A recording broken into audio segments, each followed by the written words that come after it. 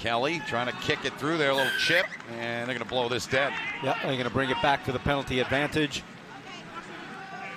And so the pressure pressure continues on Toronto, on uh, Dallas, excuse me, and uh, and they're going to take it quick. Faleiva, he's going to take it quick right into the try zone, right? right into the try zone. It is. You talked about him in the open. He has been a dominant factor and a dominant force in this match.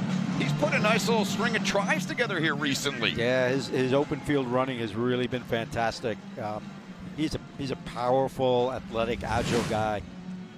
And right here, they're not going to they're re- relentless with the pressure. You know, Toronto knows what's in front of them, what they need, and the mindset they got to get into, and that's how they're playing. And if you are Ross Braude, that's the man you're looking for near the goal line. 23 years old, six foot four, 285 pounds. Came in with three tries. I mean, look at the difference there. Braude looks like he's 12 years old.